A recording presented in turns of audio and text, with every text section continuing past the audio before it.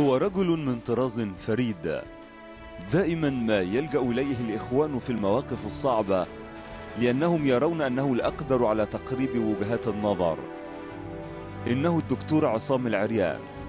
من مواليد الثامن والعشرين من أبريل من عام 1954 في محافظة الجيزة مركز إمبابة. وهو نائب رئيس حزب العدالة والحرية.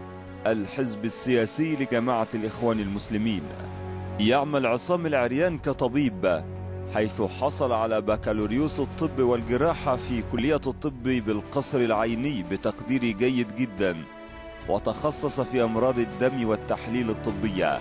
العريان موسوعة علمية فهو حاصل على ليسانس الحقوق جامعة القاهرة وليسانس الآداب قسم التاريخ بجامعة القاهرة وليسانس الشريعة والقانون من جامعة الأزهر. وللدكتور عصام العريان نزعة صوفية صافية عايشها معه رفاقه في السجن عام 2006 حيث كان يلقي عليهم درسه اليومي في شرح حكم ابن عطاء الله اسكندري عقب قبل صلاة المغرب حيث كان العريان يقوم كل يوم بشرح وصية من حكم ابن عطاء الله والتي كان يحفظها عن ظهر قلب ويمتع السامعين بشرح معانيها مستشدا بكتب شراحها كالشيخ عبد الحليم محمود والشيخ محمد سعيد رمضان البوطي. يدرك كل من عايش العريان عنايته البالغة بالاستفادة من وقته. فقد كان في معتقله يستيقظ مبكرا لقراءة الجرائد والمجلات. ثم تراه يراجع ورده القرآني في صلاة الضحى التي تطول لتستوعب مراجعته الطويلة للقرآن. وحين يمارس الرياضة يضع السماعات على أذنيه مستفيدا بوقته في الاستماع لمواد صوتية وتلاوات. ومحاضراته ودروسه محددة بوقت لا يتم تجاوزه لأحاديث السمر وللعريان تاريخ طويل مع المعتقلات. فقد كان أيام النظام السابق يخرج من معتقل ليدخل آخر. وباختصار شديد يعد الدكتور عصام العريان أحد القلائل الذين يجمعون ولا يفرقون. ولهذا السبب فالرجل يحظى باحترام الجميع.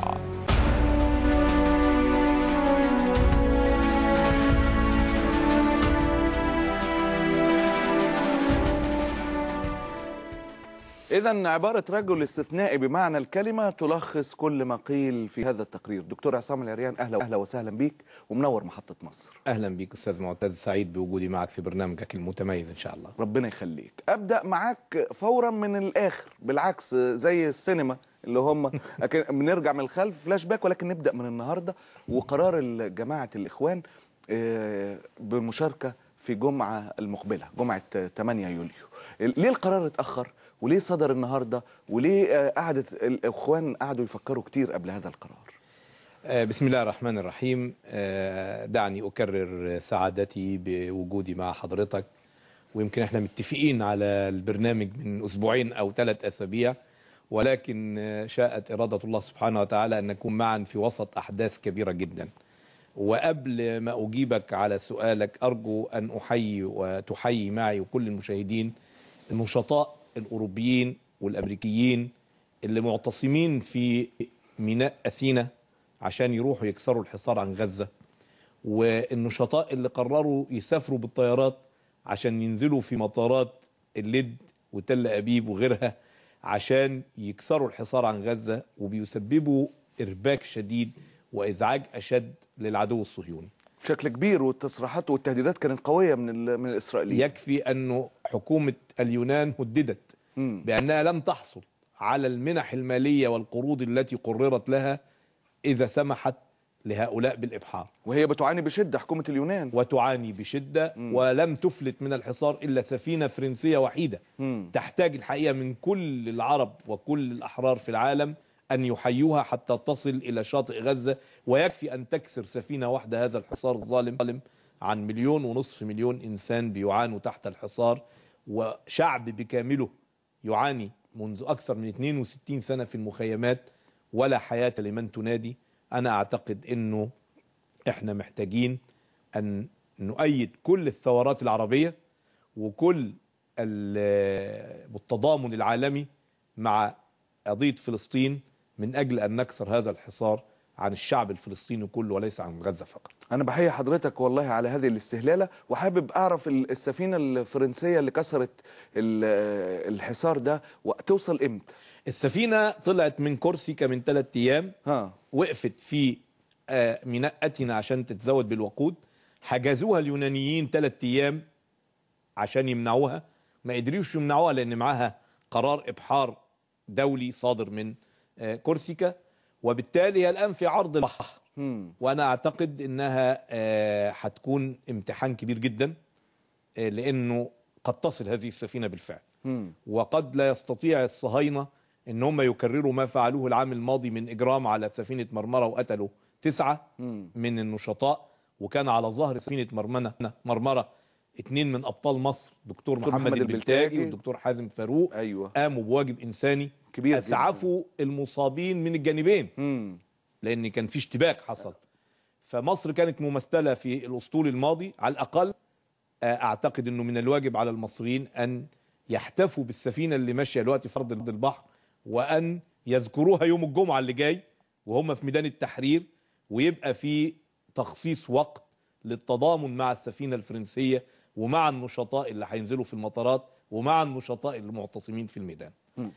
آه مصر كانت ممثلة في السفينة اللي فاتت بهذين الرجلين فقط. رغم أنف الحكومة المصرية. رغم أنف الحكومة المصرية وطبعا قصة اعتقالهم وقصة خروجهم من داخل الأراضي الفلسطينية المحتلة والمخابرات المصرية وإنها قدرت تجيبهم.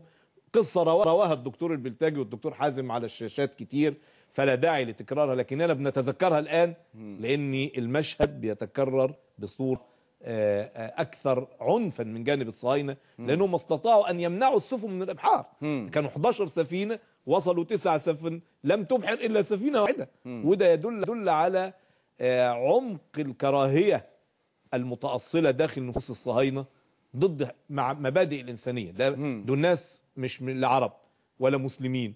ده نواب وصحفيين وكتاب أوروبيين وأمريكيين وفر... من كل الجنسيات ما فيش حد عربي أنا ما شفتش غير مصطفى البرغوثي الدكتور مصطفى هو زميل طبيب أيوة. وحد تاني ما أعرفش زوجته ولا مين هما الاثنين بس في, في هذه. السفينة في هذه الحملة اللي, آه. اللي هي فلوتيلا 2 اللي هي أسطول الحرية 2 أيوه الحقيقة إحنا محتاجين أن نقف تحية لهؤلاء وأنا أحببت في الب- البدايه أن أحييهم لئلا ننسى مع الأسئلة عن مصر أرجوك، ده مهم و... وشايف إن المعنى الإنساني الذي يمثله هؤلاء هو المعنى الذي يجب أن نحمله بمعاني كبيرة جدا لأنه مصريين علموا العالم منذ فجر التاريخ وإحنا نستطيع أن نعلمهم أيضا الآن ونستطيع بثورتنا العظيمة التي يجب أن تستمر حتى تحقق أهدافها أن نعلم البشرية كيف يكون التضامن الانساني الحقيقي وكيف يكون التسامي فوق الغرائز العنصرية وال- والغرائز البهيمية أيوة. اللي بتجعل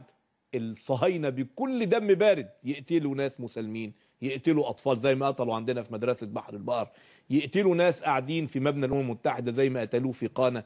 هؤلاء ارتكبوا جرائم ضد الإنسانية وسيأتي اليوم الذي يحاكمون فيه على هذه الجرائم كما نتطلع الآن إلى محاكمة ملاديتش وكاراديتش وميلوسوفيتش اتحاكم قبل كده. دول اتحاكموا. كل السفاحين دول. دول كله هيتحاكم. وهيجي اليوم اللي نحاكم فيه نتنياهو وليبرمان وسيلفان شالوم وكل القا... وبين ع... بين الع... اصدقاء الرئيس ال- المخلوع اللي كان بيستقبلهم بالحفاوة قالوا لنا بقى سابق جميعاً. مش مخلوع كل الوسائل الإعلام ال- شبه الرسمية يعني بقى تقول سابق هو سابق لو لو مر بسلام. لكن أنا أعتقد إنه أجبر على الخروج وبالتالي يمكن اللفظ الأدق فعلا هو لفظ الرئيس اللي خلعوا الشعب يعني. اجبروا اجبروا الجيش على الخروج لكن اللي خلعوا خلعوا ثورة الشعب. طيب آه، آه، مش هقول السؤال هاخد كمان بقى بما إن حضرتك فتحت التعليق قلت لي جملة والثورة التي يجب أن تستمر حتى تحقق جميع مطالبها. في بعض التوقيتات الناس أو المراقبين كان بيروا إن ده مش مش فكر آه، الإخوان المسلمين. لا خلاص كفاية كده ونتوقف. وامبارح أو آه، آه، هو مش محسوب على الاخوان المسلمين كان دكتور ناجح إبراهيم استضافته على الهواء فقال لي عنوان قال لي دي أكبر غلطة وده لا يمكن إن إحنا ننزل وده إجراء خاطئ وكفاية كده وإحنا لو حاسبنا كل بنص كلماته لو حاسبنا كل ال- اللي اخطاوا مش هنلاقي حد في البلد.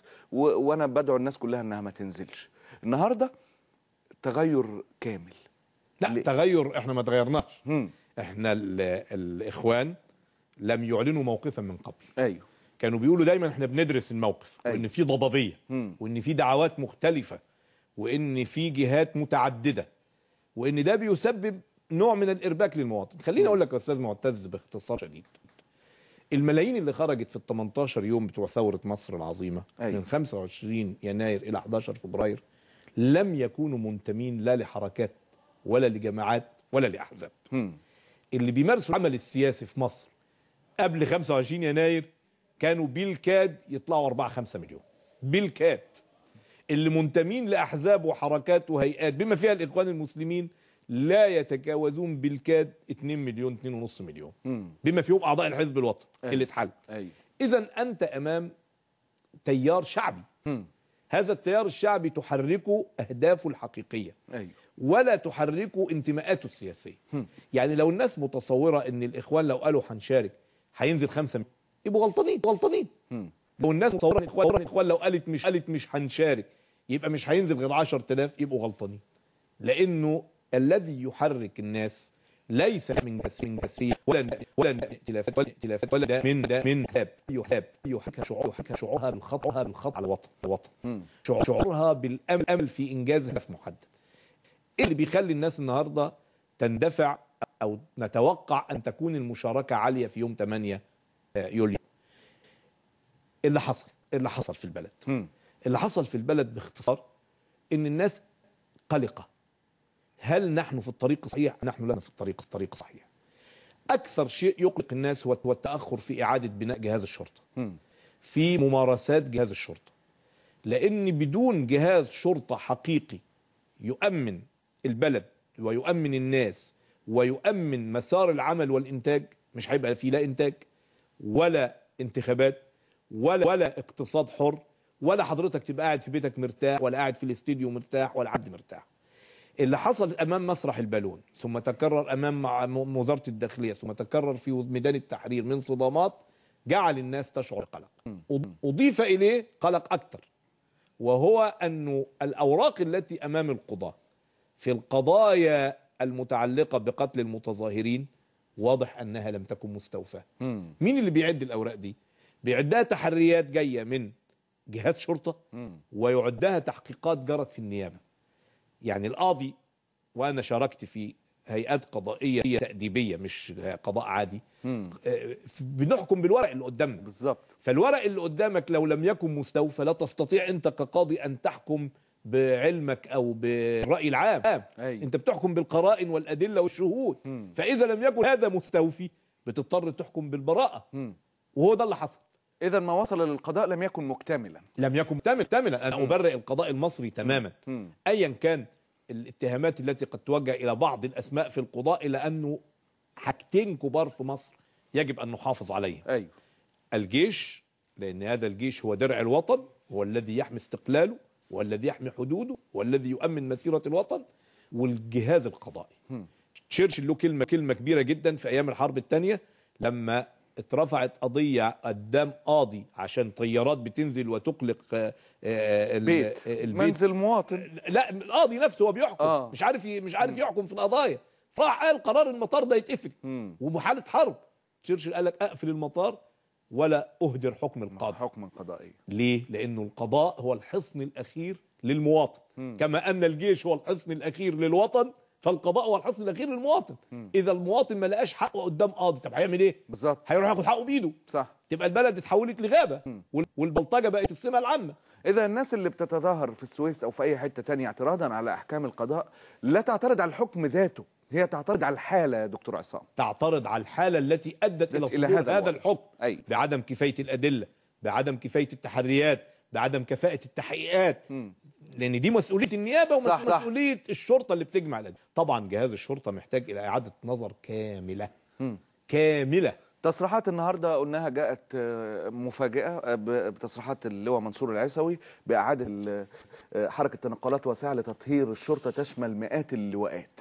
البعض بيقول إن إن التوقيت عماد البحير لسه زميلنا وإحنا قاعدين نتكلم قال لك أنا خايف من التوقيت القرار ده قبل الجمعة. إشمعنى يعني القرار ده مش من القرارات اللي اتاخد قبل يوم الجمعة. قيل في تبرير ما حدث يوم الثلاث والاربع اللي فاتوا. إنه كان هناك تسريبات عن حركة ال- البوليس دي مم. حركه دايما بتطلع في أغسطس أيوة. بس هم عايزين يطلعوها السنة دي بدري قبل قبل رمضان مم. وقيل إن التسريبات قالت كده إن فيه خروج عدد كبير جدا من قيادات ومن لواءات فهؤلاء هم الذين دبروا ما حدث مم. وأظهروا الشرطة من جديد بنفس المظهر ال- القديم ده أحد التأويلات التي سمعتها من بعض المحللين. خليني أقول لك عشان نرجع لورا يا أستاذ معتز اتفضل كيف كان الضباط أو الطلبة يلتحقون بكلية الشرطة؟ مم. كلنا كان عارف. طبعا. كان فيها وسايط كتيرة جدا جدا وكانت الناس بتدفع مبالغ هائلة. كانتش كوسة بس كانت معاها البشاميل. كوسة ما- بالبشاميل. آه، دي النقطة الثانية بقى. مم. كيف كان يتم يتم التوزيع داخل هيئة الشرطة والترقية الاستثنائية داخل هيئة الشرطة على الأماكن المتميزة أو الأماكن التي فيها مجال آه، يعني حتى بال- بالمرتبات بس حتى من غير من غير الحاجات اللي ورا اللي تحت الترابيزة آه، كان فيها مزايا كبيرة جدا. بالوسائط يعني مثلا لما يبقى سياسي كبير زي عبد الأحد جمال الدين. أخوه بيترقى استثنائي. لغاية ما يوصل لرتبة عالية جدا في الشرطة ويبقى قائد قطاع كبير جدا في الشرطة دي مسألة ولاء لمين.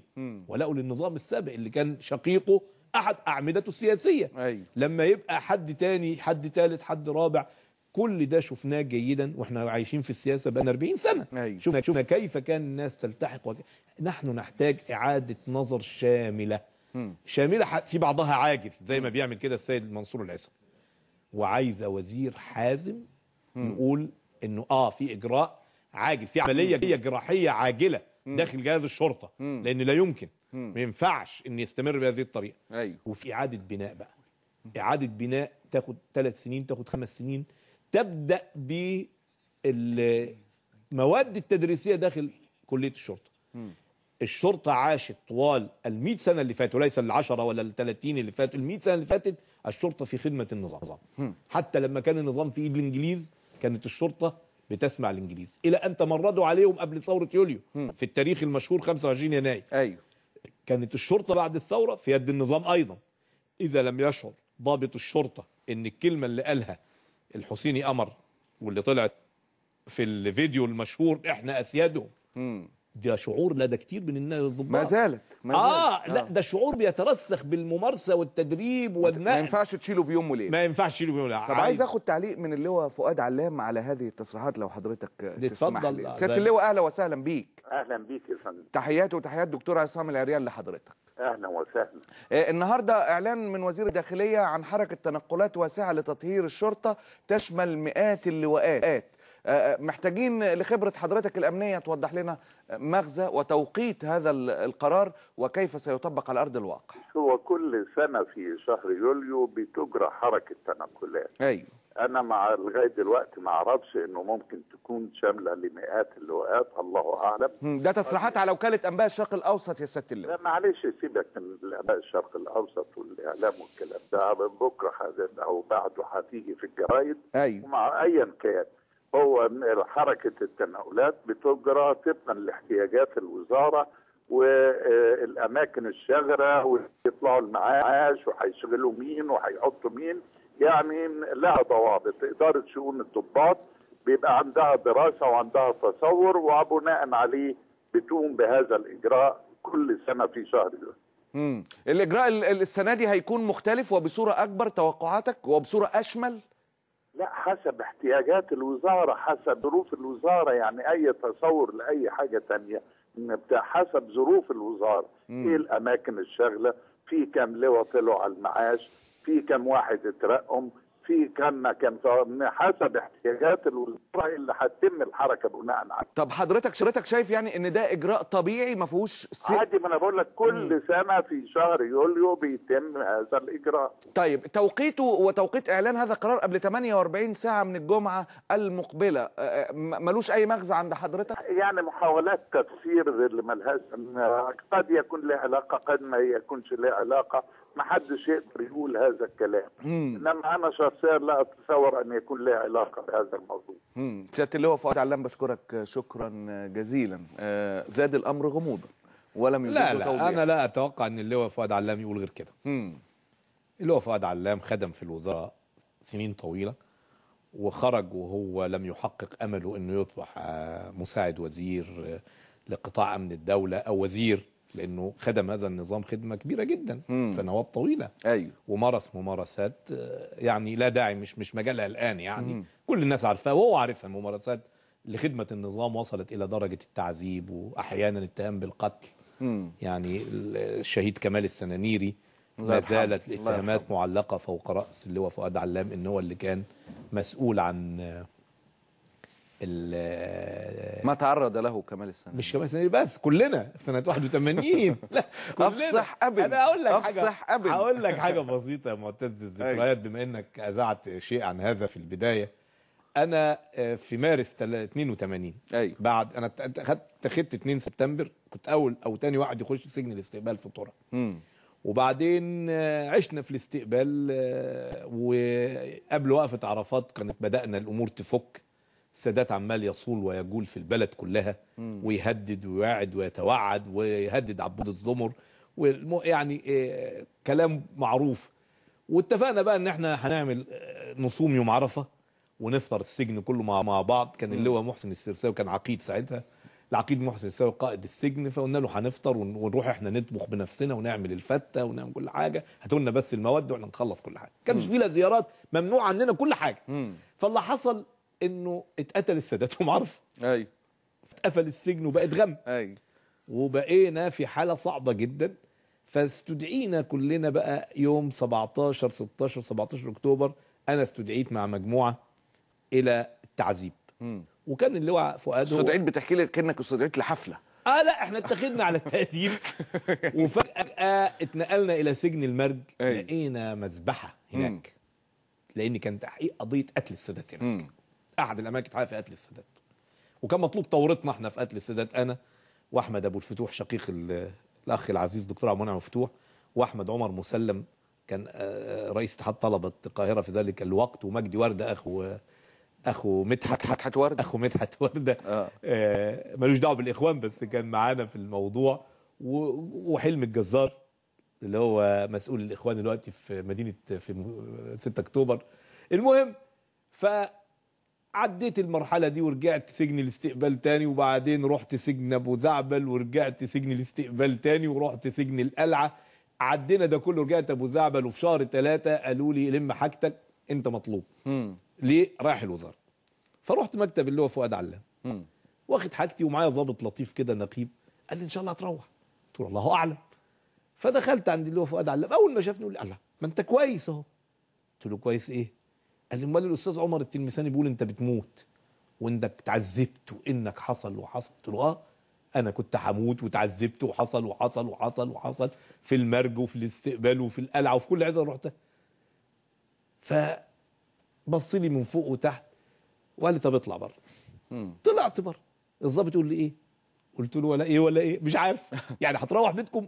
كان الناس بدأت تروح. أيوه. قلت له مش عارف والله يا سيادة النقيب. أنا قاعد واقف معاك. فلقى الجواب جاي عيني حط راسه في الأرض. لقى الجواب إنه يرجعه تاني إيه؟ السجن.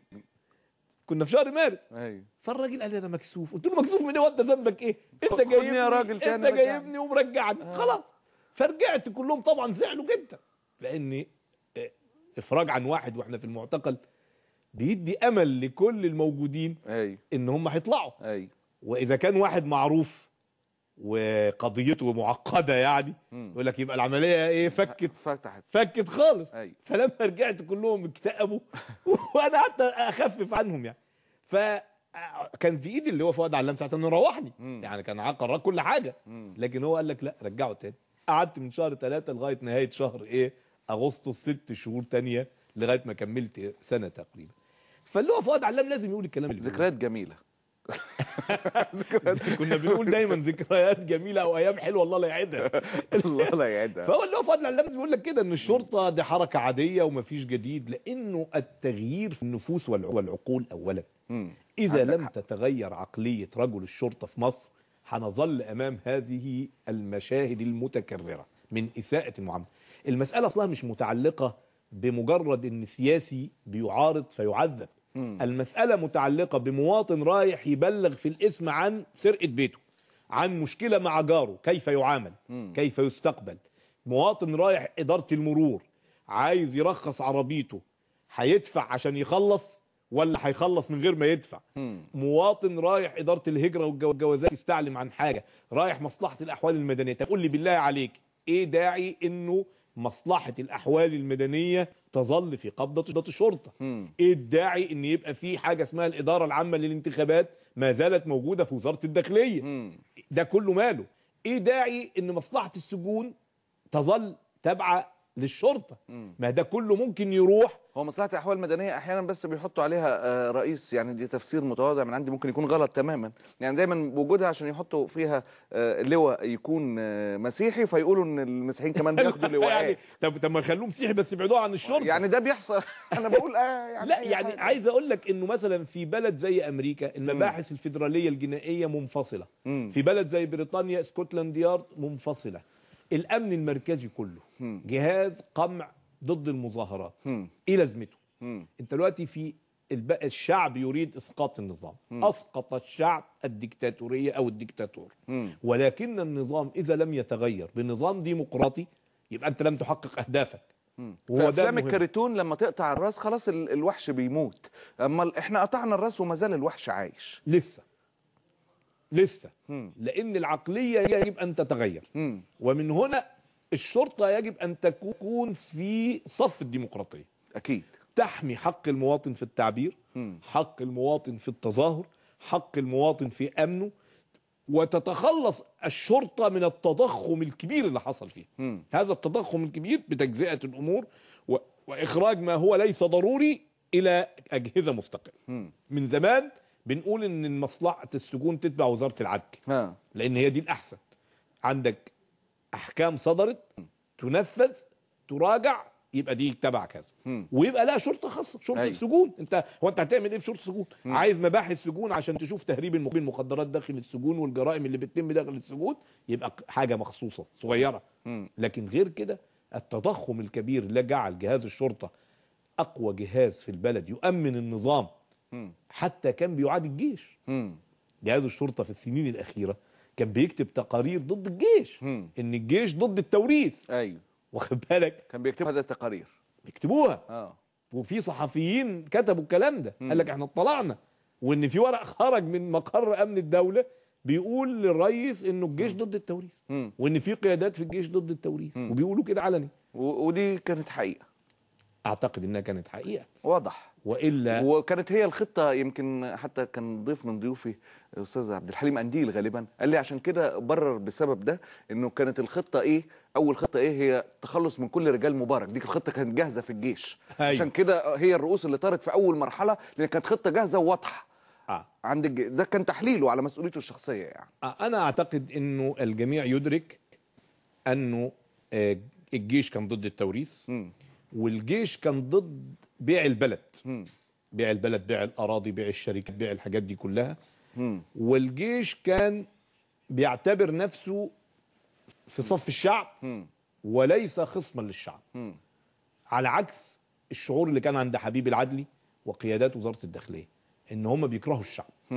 وإن الشعب بيكرهه دي نقطة كانت جوهرية اللي كانوا مترددين بقى لدعم مشروع التوريث أو عدم دعمه آه. الأمريكان. آه. كانوا عايزين يشوفوا الحتة الحكاية هتروح لفين ويبقوا معاه. آه ماشي. عشان كده كانوا متذبذبين. يعني لاحظ حاجة. مم. آه أنا كتبت مقال أحلل فيه بيانات الجيش الأربعة أو الخمسة الأولى. مم. ومقال موجود على النت. المقال كان مميز جدا يا دكتور أنت عصام. دي رجع ده مع موقف أمريكا. مم. الجيش كان واضح. مم. أنا أحترم مطالب الشعب. أنا هحمي الشعب لن أتعرض ليه أنا لست بديل عن الإرادة الشعبية.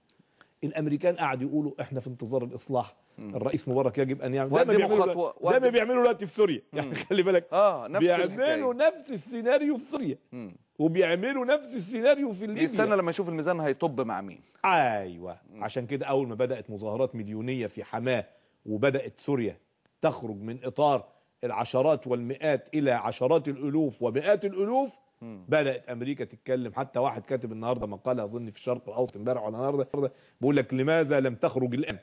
لأن أوباما خرج مرة قال الآن و Now. now is meaning now أيوة. now وبعدين لما قالوا له now قال مان is meaning now آه بدأوا هيقولوها دلوقتي لسه ما قالوهاش في سوريا. اذا ال- الإخوان سيشاركوا يوم الجمعة وعايز أعرف آه، حضرتك آه، تأكد لي السبب أو الأسباب اللي بعد اللي قلت الموضوع كان تحت الدراسة آه، واحد اثنين ثلاثة لماذا سيشارك الإخوان في هذه الجمعة؟ رغم إنه في جمعتين سابقتين لم يشارك فيها الإخوان. أنا بتكلم معاك كمحلل الوقت. أيوه لأن كمحلل أنا لست عضوا في مكتب الإرشاد مم. ولم أشارك النهارده في اتخاذ قرار لأن أنا ولكن قامتك. محفوظة فوزه في في أنا الحزب وصل وصلني البيان زي أي واحد. وصلني ما على الإيميل عليه يا دكتور زي أي واحد. واخد بالك واستفسرت بس عشان أتأكد أول ما سمعت إن الخبر طلع في الإعلام مم. فسألت الكلام ده صحيح قالوا اهو بعتنا لك البيان على الإيميل ما سألتش بقى سؤال بعده ليه لا هقول لك أنا. أنا أصلا عشت في الإخوان عمري طيب ما ده اللي أنا بقوله وما ما ما عارف إزاي نفكر يعني مم. الإخوان مع بوصلة الشعب مم. عندما ترى أن البوصلة الشعبية في اتجاه ضرورة ال- الضغط. من أجل تصحيح المسار أيوه فهي تضغط مع الشعب من أجل تصحيح المسار. مم.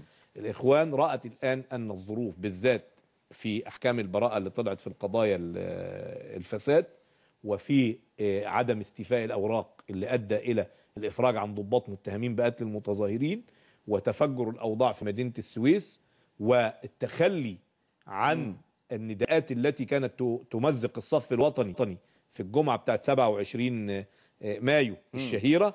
الناس قالت لا إحنا مش هنطالب دلوقتي بمطالب سياسية ولا مطالب تحدث انقسام وطني إحنا هنطالب بتحقيق المطالب الأصلية التي خرجنا إليها من قبل. يبقى ده يدفع الإخوان جميعا إلى أن نؤكد على ضرورة التوافق الوطني العام من أجل استكمال مسيرة الثورة. إحنا عايشين أقول لك حاجة يا أستاذ معتز. إحنا عايشين في مسارات متو- متوازية غير متقاطعة ولا يختلف بعضها عن بعض بمعنى أنها جميعا تريد أن تحقق الهدف. أيوة. الهدف الذي نسعى إليه جميعا كمصريين الآن هو إنجاز التحول الديمقراطي. لأنه دون إنجاز التحول الديمقراطي يبقى هذه الثورة لم تحقق هدفها. أيوة. هدفها إسقاط النظام أي إسقاط الديكتاتورية. ضد الديكتاتورية هي الديمقراطية. هدفها تحقيق الاستقلال والكرامة الوطنية لأن النظام السابق كان اهان مصر وأذلها وجعلها تابعة ليس فقط لأمريكا ولكن للعدو الصهيوني.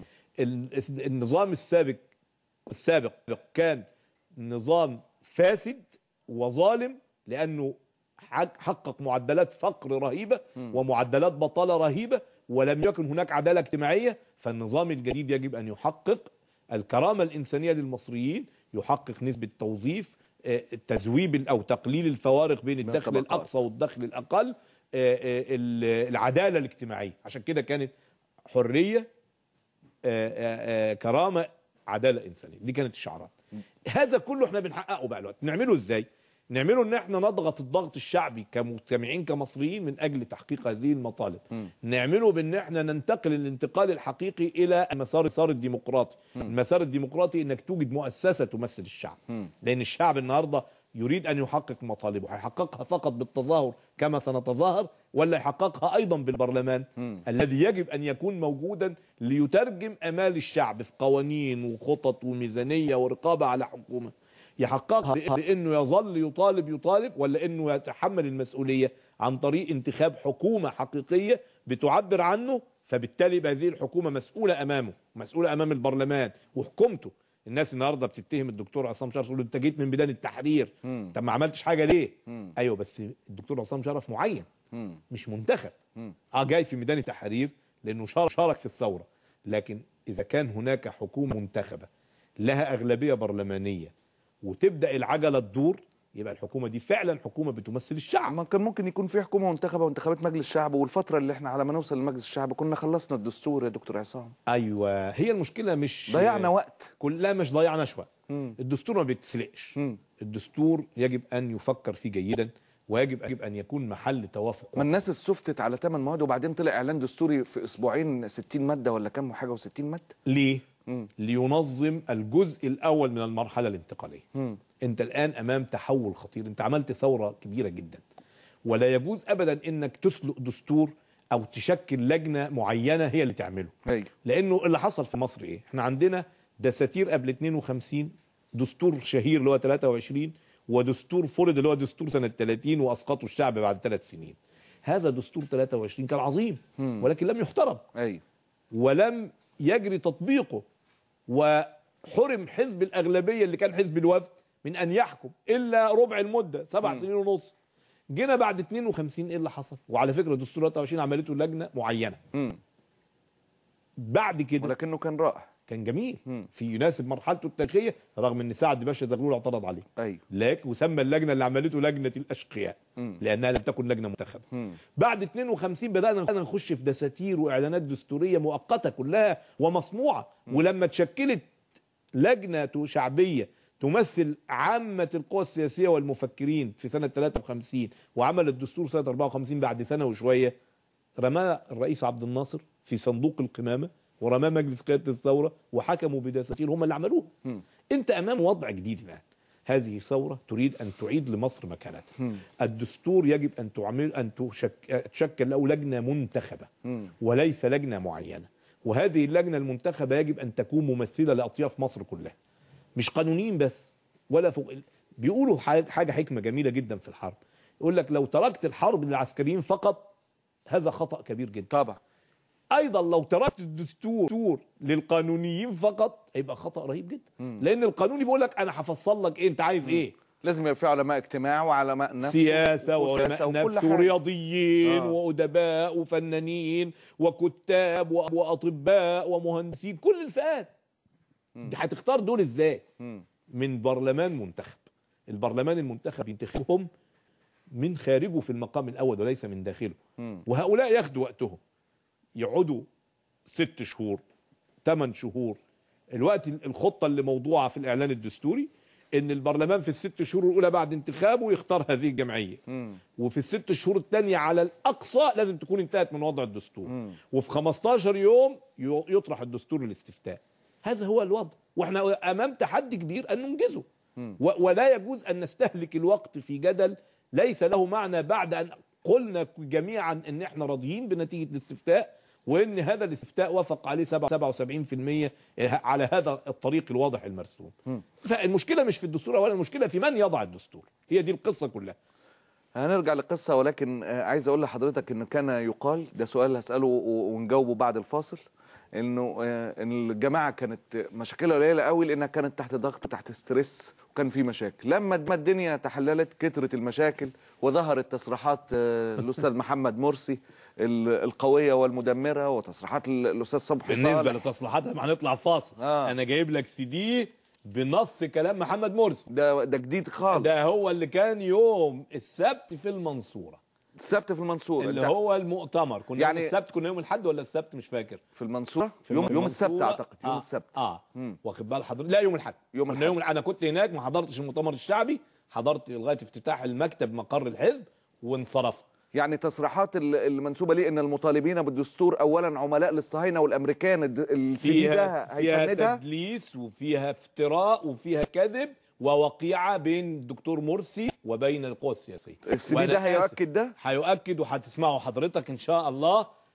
صوت. هو ما فيش صوره طيب. في في صوت. طيب خلاص. صوتيا بعد الفاصل آه، السي دي آه، اللي بيؤكد دكتور عصام العريان إنه ينفي كل تصريحات إن تصريحات محمد مرسي هو لم يتهم أحد بانه أذناب الصهاينة. هو اتهم الصهاينة والأمريكان إن هم اللي عايزين يعوقوا المسيرة الديمقراطية. عايزين تعرفوا الأستاذ محمد مرسي قال إيه؟ بعد الفاصل في محطة مصر. ايادي مصرية سمر